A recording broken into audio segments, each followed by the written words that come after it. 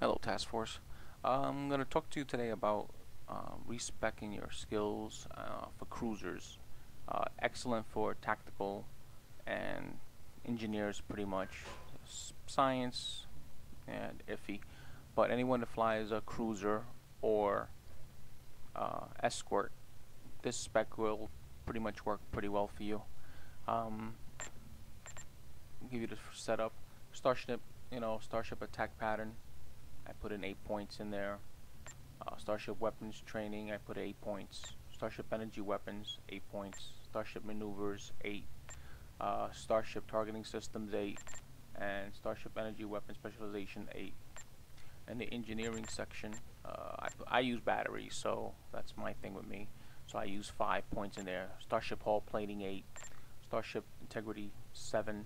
Starship Subsystem Repair, 8 uh, Starship Warp Core Efficiency 8, uh, Starship Electroplasma Systems, I put in 8, uh, Starship Impulse Thruster 6, Starship Warp Core Potential 8, Starship Engine Performance 6, Starship Hull Plating 7, Starship Shield Performance 6, and Starship Weapons Performance 3.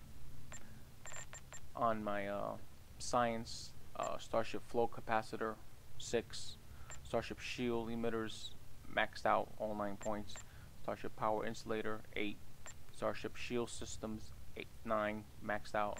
I use Starship Inertial Dampener 6, Starship Sensors 5.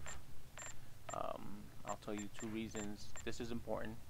Starship Flow Capacitor, and I'll show you why. Uh, when you go to this ship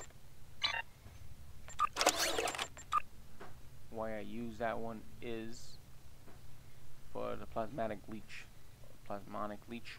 Um, it's extremely important for that. When you're shooting it will drain more um, energy from the other ship and give it to you. I go up as high as 19 points for each subsystem.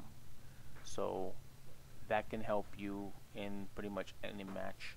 The other thing is that everyone and I mean everyone who flies any ship should get this uh, inertial dampener guy. Alright, he increases plus 40 to all energy damage resistance for 23 seconds. Uh, get this DOF um, or a blue one, a must have. Um, and then you have to use the power uh, auxiliary to inertial dampeners. But a must have for any ship. Um, so that's the specs for any cruiser um, and it works for escorts too. But for tactical engineering, that's a good setup. Science, I can't help you too much on there, guys. All right. Any other questions? Uh, let me know, and I'll make more videos in the future. Bye bye.